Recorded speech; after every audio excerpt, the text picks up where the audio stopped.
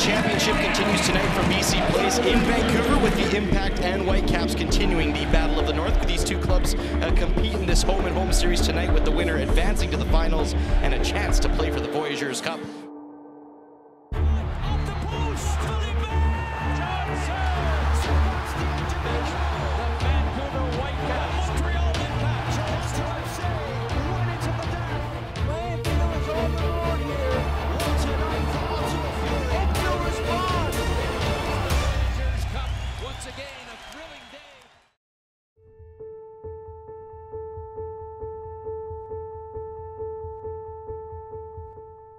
The MLS teams join in later in the competition after the, the amateur teams and the semi-pro teams uh, knock each other out. And uh, it's kind of the, you know, our payment to, you know, being a top level team, we get to advance straight to the semifinal round, I suppose. It's a short tournament and uh, there are only a few games to get there, but those games are that much more meaningful based on what's at stake. Montreal has played once in the refurbished BC Place, losing last year their first game in Major League Soccer. The Caps 2 0. We'll see what happens here this evening. First time we won it with the, the MLS group was in Vancouver. Uh, and it was, it was a great emotional experience for all the guys that played in that. And there it is. The Montreal Impact have won the Voyageurs Cup. You know, winning leads you to be able to the Champions League, and we know how big it is.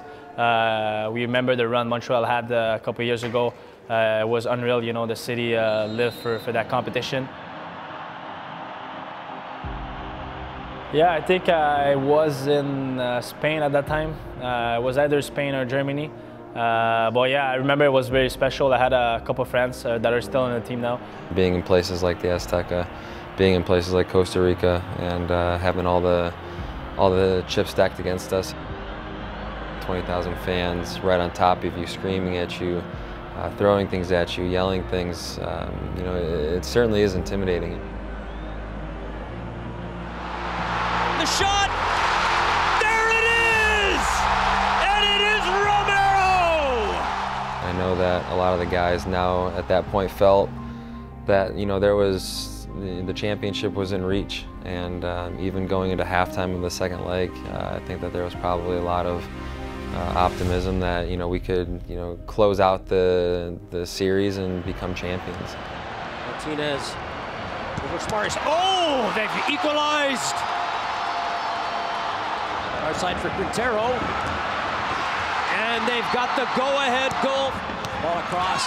Oh my goodness. That's game, set, and match. You know, I think that anytime you get that close to something so monumental and so historic, um, and, and, you can feel it in your fingers and, and it slips away. Uh, it certainly stings and you know I think the reason it stings so much is because you know how hard it is to get there and for us we're still we're still looking for a way to get back.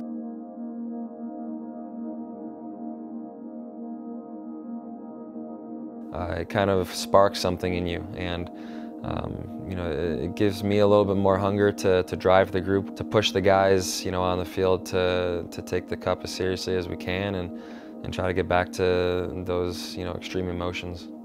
Montreal Impact and Vancouver Whitecaps huddle up and burst out to each end. The winner of this tie will go on to meet Toronto as they thumped Ottawa today in the second leg 3-0 for a 4-0 aggregate win. They'll be off to the Canadian Championship Finals and we'll look to repeat it. Three Canadians in each starting 11 and we are underway. I think it's a very uh, physical team, uh, you know, with uh, Kei Kamara on top, uh, Waston uh, defense, you know, I think it's a big threat on the set pieces. Every time we play against them, we have troubles. Ball across for Kei Kamara, almost misses the tap in there. He almost got the right toe to it. It was great service from Teibert and just what you want to see from the Whitecaps early in this one, a great chance in the seventh minute. You know, I think that anytime you play a group of young guys like Vancouver typically has on the field, uh, you know, you can let your guard down a little bit.